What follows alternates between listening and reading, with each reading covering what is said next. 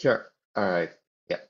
So, um, yeah, in this uh, week, in the chapter five, I'm going to present the many ways to make maps with R, as many things usually is in R that a lot of ways can be done to achieve something, which is good. But for me, it's a bit overwhelming actually, uh, because I haven't been into um, geospatial data before, and then there are a lot of options, but nice to know that there are options uh, nevertheless. So there are four packages that can be used to make maps with R. Um, so they ordered in the chat in the book, it is ordered um, like so, ggplot2, leaflet, mapview, and tmap. But I would argue that it's actually better to order it like ggplot2, tmap, leaflet, and map, mapview because it seems that ggplot2 and tmap is really good or at least um, more suitable for um, static maps for publication in journal articles or any static mediums, whereas leaflet and mapview is really for interactive uh, map. And I think looking at um, the plot results, it seems that MapView is like a high level API for Leaflet. Um, yes, because true. they, yeah, yeah, they look very similar. Uh, but yeah, if you, it is really built on top of MapView. If you um, look at the structure of a MapView object, you can see that the first slot or the, I think the second slot is the is the leaflets uh, map actually. Mm -hmm. Yes. Right. Yeah. So my suspicion is correct. All right. So, well, I would say that the maps uh, being created in the chapter is rather simple. Um, what is what's the difference is that as long as we pass um, the shape object is data, for example, in this ggplot object, then we can create maps, but we have to add, we have to use geom_sf to actually plot the polygons and um, whatever value that we want to map within the polygons. So I would say at this point, it's rather okay. And I think it's also nice that by using one line, we can actually make um, the ggplot2 maps to be interactive. Though, according to my limited experience, yeah, I, I don't really think it's um, like this ggplotly um, type map or any plot is good enough because they seem quite rough. Um, I'm not entirely sure that it's ready for publication. Maybe, uh, well, what I've seen so far and what I have done is really um, sort of the basic and maybe can be highly optimized. But I think compared to the real interactive packages like Leaflet or a map view, those two really blows this one off the waters. But yeah, well, ggplot2 um, you can you can make more, uh, much more uh, professional looking maps if you want. There's a the chapter here actually teaches the basic uh, stuff.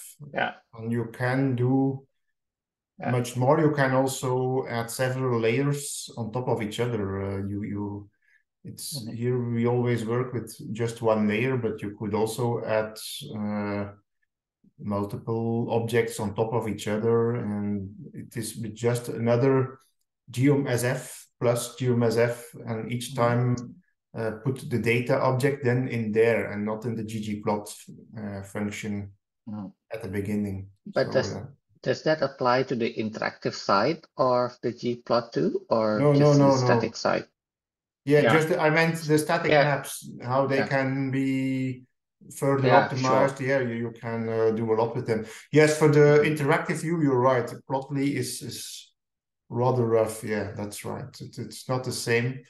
Um, I, I think there are other options too, but I'm not too familiar with the interactive uh, maps section. But I mean, for a quick look, for a quick uh, browsing through the maps or the values, I think it's fine. Mhm. Uh, but not really something that I would use, especially that there's map view. Well, Yes, of course. Yes. yeah. So um, yeah, and then for leaflet, well, I, um, I finally know what's the name of the package that create this kind of map because I think I see it everywhere. Um, and I think one thing that is very important to understand, um, oh, I don't know what's going on with the rendering, but anyway, um, we have to transform the coordinate reference system to EPSG code uh, 4326, and there is a must apparently. Um, and well, I do quite like that the leaflet, even though it is proposed, but it's proposed in the ggplot um, like manner, I guess, in which you are adding layers of data or geoms or object. Um, and then you can Yes. add complexity. Yes, it's, it's So also with layers, so you can indeed, uh, yeah.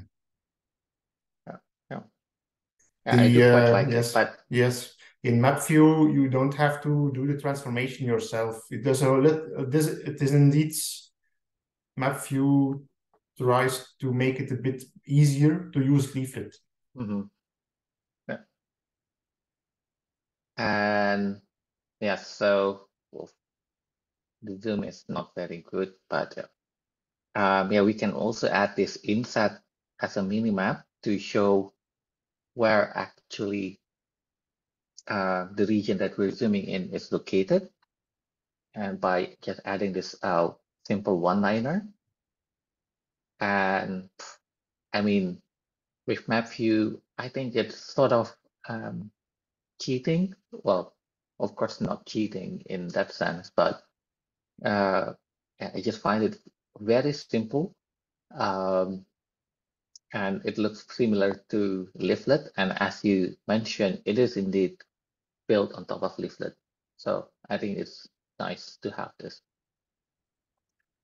Uh, but then when it comes to customization, and then this becomes a bit, at least not as intuitive as Leaflet, because now it seems that they it has, well, it, based on my first impression, um, that there seems to be um, a lot of arguments that can be put into the uh, map view uh, function, whereas um, I think the leaflet grammar, of course, is a bit more verbose, but I maybe because I'm also a bit more used to ggplot2, I can appreciate that kind of verbosity compared to having a lot of arguments in the function. But to each their own, I guess. Uh, and by the way, I'm I'm very curious how you made these slides because it's really interesting to see the code at the left and well, the plots at the right. Yes. Oh yeah, I'm using the um, uh, Quarto presentation. I think it's Oh. based on the Reveal JS. Just saw it yesterday uh, because I thought that this chapter has a lot of codes and I don't want to copy paste uh, every time. But yeah, it is it is very intuitive to use, very intuitive. Yeah. Uh, Interesting. Yeah. Thanks. and the and the Posit um, and the Posit uh, block has a lot extensive documentation, so it helps. I'll share the link later. All right, and then um, yeah, for adding minimap to the map view, it's using the same uh, function from leaflet. Uh, because well, as I said, the leaflet, this map view is built on top of a, a leaflet uh, package. So I guess there are a lot of functions from the leaflet package that can also be used for the map view. And I think this is uh, what is nice is that with map view, we can make um, a side-by-side -side plots and to make it a bit uh, uh, more obvious that this is what it meant by the side-by-side -side plots in which, so I guess this is like um, a picture uh, where you have the slider and on the left you have this picture before the filter and the right before after the filter and then you see the color or the picture changes. But here so the idea is that um, on the left you have a value let's say from 10 years ago and on the right is the value from the current period and then by um, by moving the slider then you can actually see the transition or the um, change um, between the two time window. Yeah, that's it's really great. Yeah, and well, looking at the um, yeah, looking at the syntax, I, I, was just a bit blown that at how simple it is um, to make this uh, kind of visualization. Although it I guess it can also be a bit annoying if you want to see the changes by sliding uh, the slider all the time, which I guess that that is also why this LeafSync package uh, comes into play. Because now you can actually see uh, the two variables from the different period of time side by side. And uh, what you do on the uh, left. So he, I'm pointing on the left now and on the right. Um, um, well, I, I don't think it's projected to the same area. Well, anyway. Yes, um, it's okay. Okay, yeah. Um, anyway, so if I zoom in on the left, and then you can see it's actually also zooming into the uh, more or less um, oh, that's what I don't really like. Um, the pop-ups. Anyway, yeah. So what you can do, what you did on the left, it will also be reflected on the right panel and vice versa. And one thing that I haven't said before is that by clicking into this uh, one of the polygon, and you can also see the value from other variables for the respective polygon.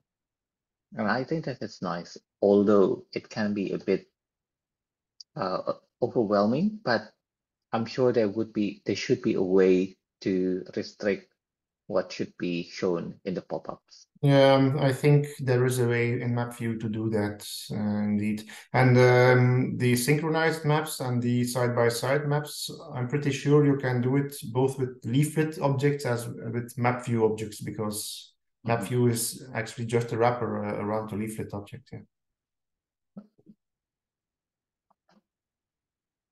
All right, and then for TMAP, um, yeah, so I guess that there are um, two modes for TMAP, the plot mode and view mode. So um, to my understanding, it seems that if you want to make static maps like on the right, then we have to uh, call or we have to use the plot. Um, but it's the default. yeah, it is the default, right?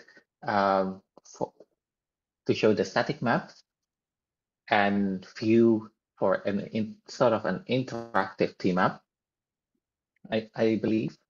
And the syntax would be well, using shape to show all of the, I think yeah, by shape is actually just like ggplot in which it only initiate the blank canvas and then all of this, um, all of the polygons will only be displayed once you call this uh, polygons, and then this uh, variable that you put inside the polygons function is the one that is used to color the areas within the polygon.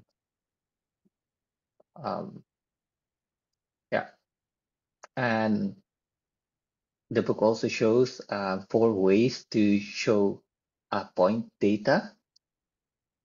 Um, and one thing that is uh, bugging me a bit is that so the scaling of the points somehow the author uses a different um, value or different way to transform the size. I still don't understand why. Um, but I, I guess it's because those packages do something behind the screens themselves. Um, I, maybe, I guess. maybe, but it's just when I when I when I saw it, it's like, hmm, okay, it's weird, but sure. I mean, we can't really interpret size anyway, but sure. Uh, yeah, yeah, so I um, think yeah, I think the author wants to scale it a bit more in the same way visually, mm-hmm. uh, which you would do probably if you would uh, just take one package independently. Um, but indeed, it, it's uh, striking that it's different between the different packages to just get more or less the same uh, experience. Yeah. Yes. And I really wonder, um, you know, with all these different fun um, things that is going on underneath, and people interpret things based on size, and then the size of the points across the packages are really different, even though it's maybe based on the same values. I think it's a bit problematic, but I don't know. Well, but anyway, sure. uh, sure. yeah. Um, yeah, so, well, this is the syntax for the ggplot2, and as you can see, um, we're passing on the um, shape object, and then here with the geom_sf, uh, we're actually feeding the points here, and that is why um, you're seeing points. Um, and then the color, and then we can designate the color as well as the size of the points. So, um, so it is not geom points that we're using uh, to show what's on the right. And now here on lift with leaflet now, I think it's a bit uh, complicated to my untrained uh, mind. But again, I think the layer syntax do make sense. Um, that first we initiate initiate um, the leaflet uh, function by passing the shape object, and then we add the tiles, and the tiles is actually the background, the map um, in the background of this um, map. So it's it, so it's the layout of the well in this example of the African continent, and then on top of it we can add the circles, which is the data that we are actually want to show. Um, and then we add the uh, properties that we want to um, show here. And I think what is quite interesting is the use of uh, tilde uh, before the variables, which has been which has been shown in the previous examples of leaflet, but um, I think it may be like a sort of a catch um, if I'm going to use leaflet in, leaflet in the future um, to remember to you know just to be just to remind myself of if something was wrong maybe I should have used added tilde in front of the uh, variable name. Um, I'm not entirely sure why it does that. Sort of like facet uh, wrap, uh, where you also add tilde before the variable name, but uh, Yeah, the documentation it says it can be a vector of, of values, or it can also be a one-sided formula. So this is just the formula no ah. notation in R with the left-hand side and the right-hand side of the formula. And in this case, it just uh, accepts a one-sided formula. Um, yeah. Okay. Hmm. All right. Yeah, well, so I guess it's the one the factor, and then this is the formula example. But yes, yes, yes, um, yeah. And now with map view, oof, it's very simple. Um, just passing the shape object, um, and then the color and the size. That's it. Uh, yeah with no added um, things. So I quite like map view at this moment. Um, yeah, and then finally for the T-map, and here, if you notice now the T-map is interactive. It's because I use the T-map mode view. And um, to show the points, then we use uh, tm_dots. And to show to designate what variable that we actually want to display, then we um,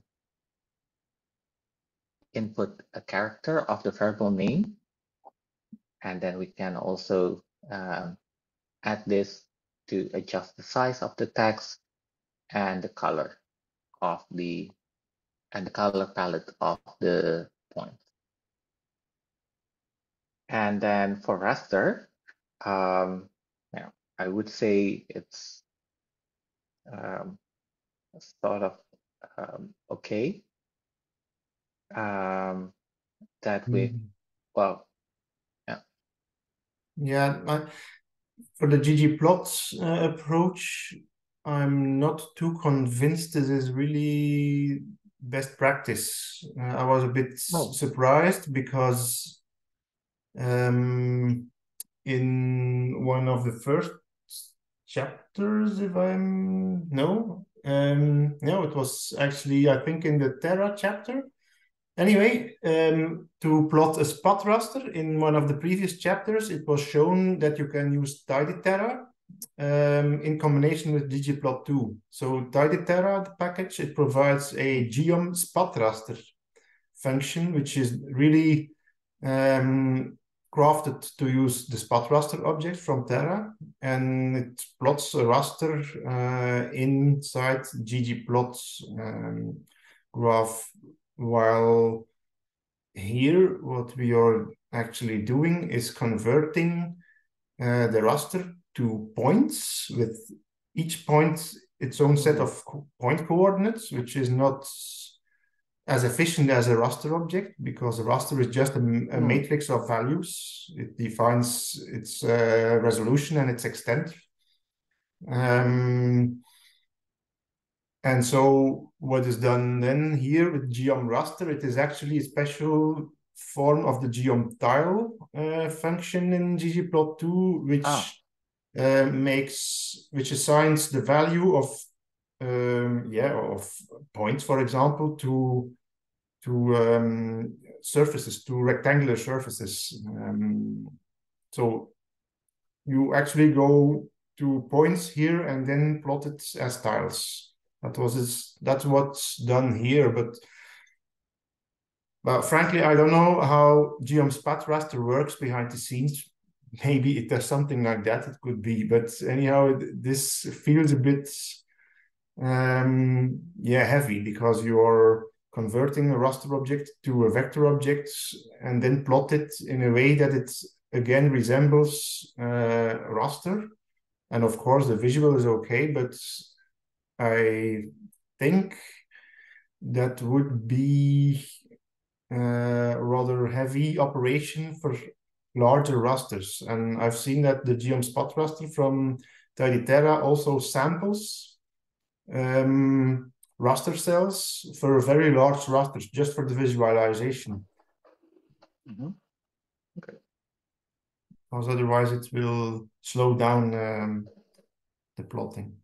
Mm. So that's just a remark. Um, anyhow, it's a creative way of doing this. It's it, it works, but um, I don't think Yeah, I mean, the best approach. Here is a very small example. I guess that's why it works. Mhm. Yeah. And well, compared to the, the one from TMAP, um, I think some more for a like and like um, comparison. Uh, yeah, it's just uh, I don't know. It's just rather different that here you can actually see um, like the boxes, whereas Mhm. here in the ggplot2, it's not very not so Yeah. much.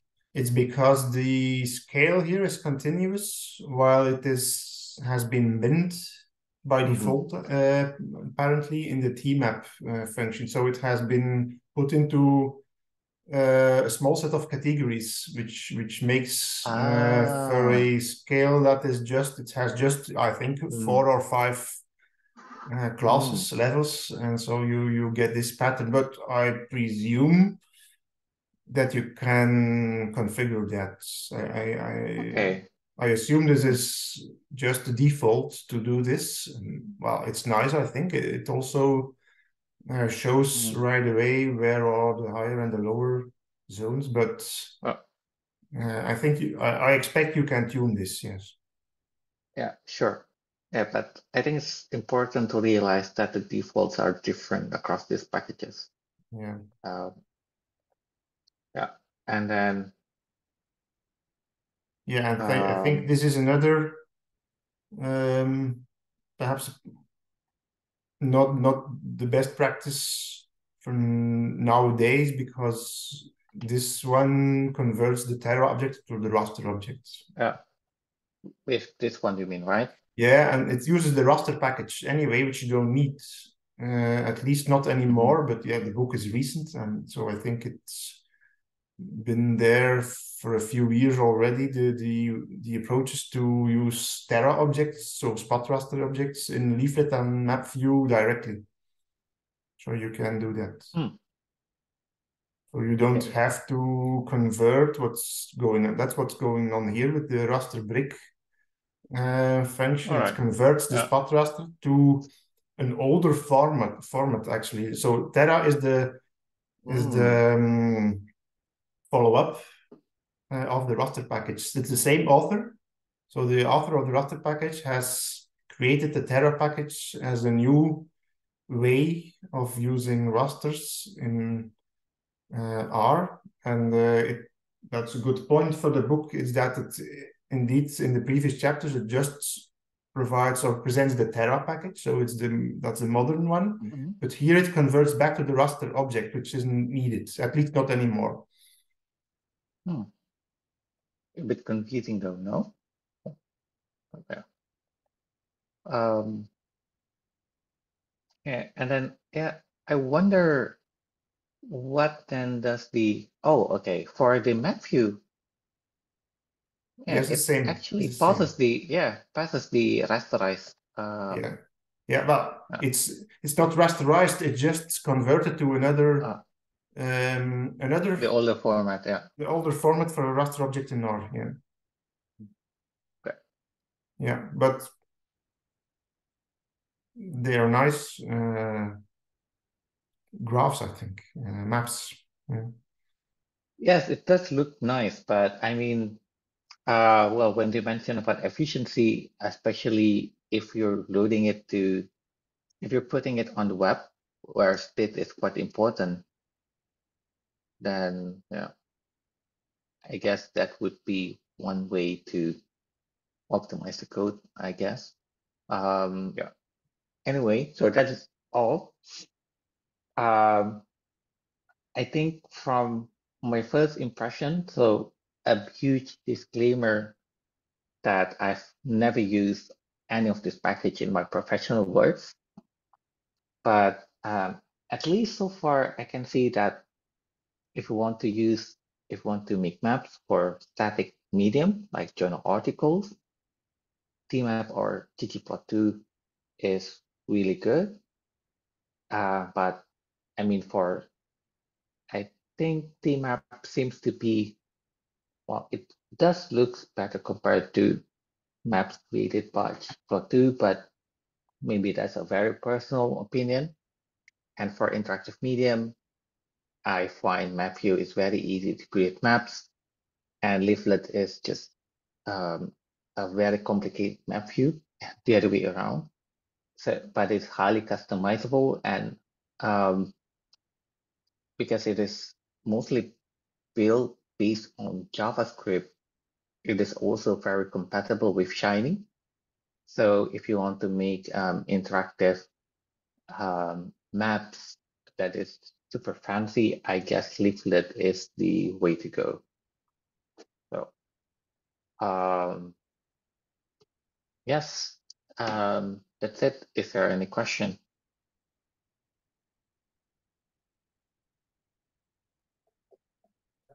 No questions. Um, perhaps, perhaps um, we can add that um, Terra, for example, it also has uh, its method for the base R plot function. So just in R, you have the function plot to make very neat graphs, um, and Terra uses it as well.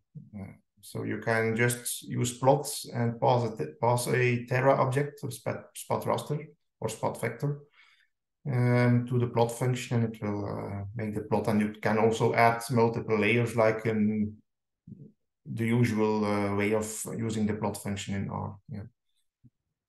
But okay. indeed, the, I do agree that the tmap function has quite professional defaults in, in rendering a map. And that is because it is really designed to make maps while ggplot2 um, it has to be tweaked because it is a package primarily to make graphs. And of course, a map is also sort of graph, but you need to tweak the theme. Perhaps you need to move the legends, that sort of stuff. But on the other hand, it's it's cool that you can do it with ggplot2 in a very neat way, but you have to customize.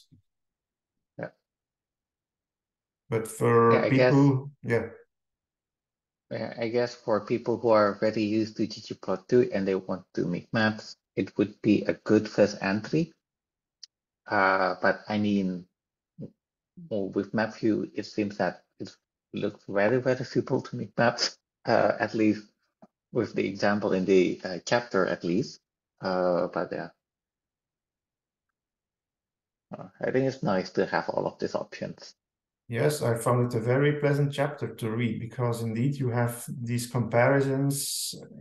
It was interesting to see several functions. I also learned uh, quite a lot uh, from this chapter, uh, especially the side by side and this, the leafsync approaches. Yes, were nice. Uh, it was also Yeah, quite very cool. It was also written quite quite uh, consistently uh, to compare uh, the packages.